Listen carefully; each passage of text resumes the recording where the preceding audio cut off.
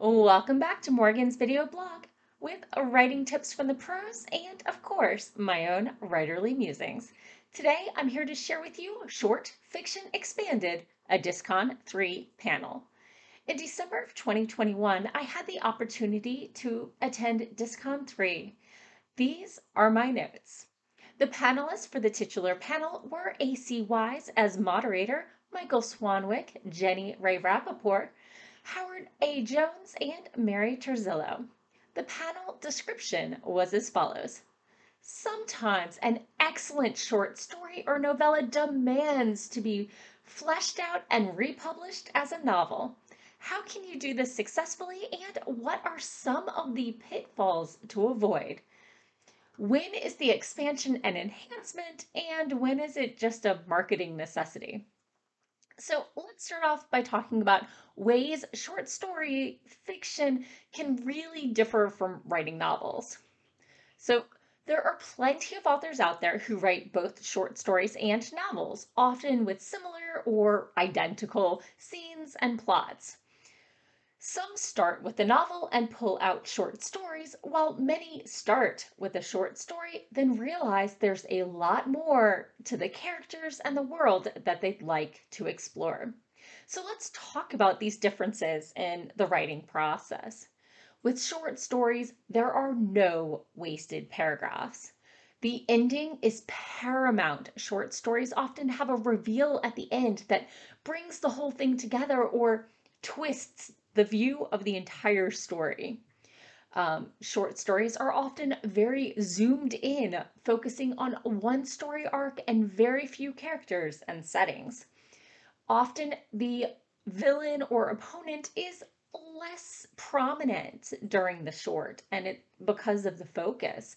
Um, there is also no space to show motivations outside of the main character or characters, and there is minimal world building, at least on the page. You can imply all you want. Meanwhile, novels often flow better when drafted in one long stretch, um, but the writer has to love the characters and the world to really write that full novel. The main characters often have time to get into plenty of trouble, not just one sticky situation. And there is space, of course, for expansive world building, side characters, and secondary plots. So let's talk about five different approaches you can use for turning a short story or novella into a novel. Um, so uh, Howard A. Jones said that, quote unquote, finding the right way in for your story, it's the real struggle. So here are the five options as a starting point. First, you can use the short story as an opening chapter, but be sure to tightly script the following chapters so they aren't a letdown. If the first one is that punchy, it can stand alone. You got to make sure that the writing keeps up that quality. Secondly, use the short story as inspiration. Use the characters and plot ideas and expand upon them. A third approach is to split the short story in half or more chunks and fill in the quote unquote off camera parts that were skimmed over. The fourth approach is to write and then combine a series of episodic shorts.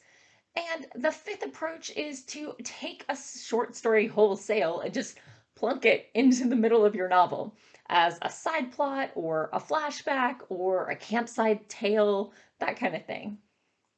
So, let's talk about what changes are acceptable in novelizations of short stories that have already been published. Basically, anything goes. Remember that in the publishing world, usually the rights for a short story, especially in science fiction and fantasy, are gonna revert back to you in like two years. Literary fiction, it might be three. And no one can say you're not writing like the multiverse version of that short story unless it's a tie in for an ongoing series. You can change the tense, the point of view character, the themes, the whole plot, the characters. You can change their names, their archetypes, their gender, whatever. It's yours. So let's talk about a couple examples of authors that have done this. Uh, now, this is far from a complete list, but these were a few of the suggestions the panelists made of names that might be familiar. First up, Orson Scott Card. With many of his works, but most notably the Ender's Game series, he often uses the formula protagonist wants something unattainable, achieves it, but then wants something else. I think a lot of us use that formula. Uh, Martha Wells' Murderbot books. Uh, Naomi Novik has done it, N.K. Jemisin. Uh, there are lots of amazing and award winning authors that have definitely done this. So you're following in their footsteps if you decide to.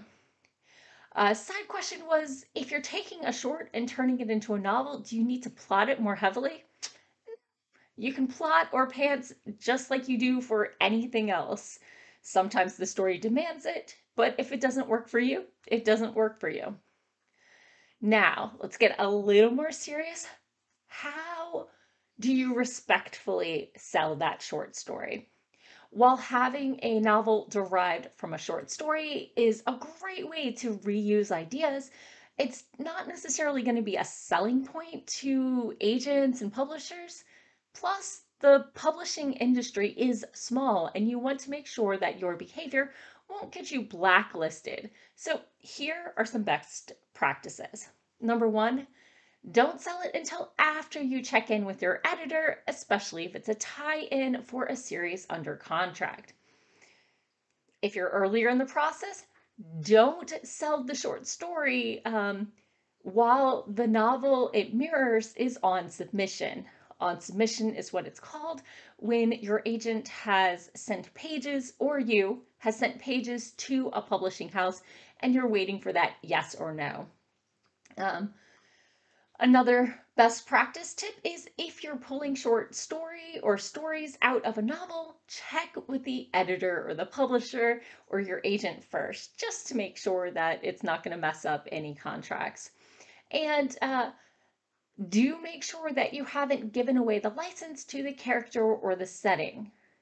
So, any tips I missed? Any favorite short story slash novelization pairs you'd like to recommend? Let me know in the comments below. As always, thank you for watching and tune in again next week for more writing tips and writerly musings. Bye bye.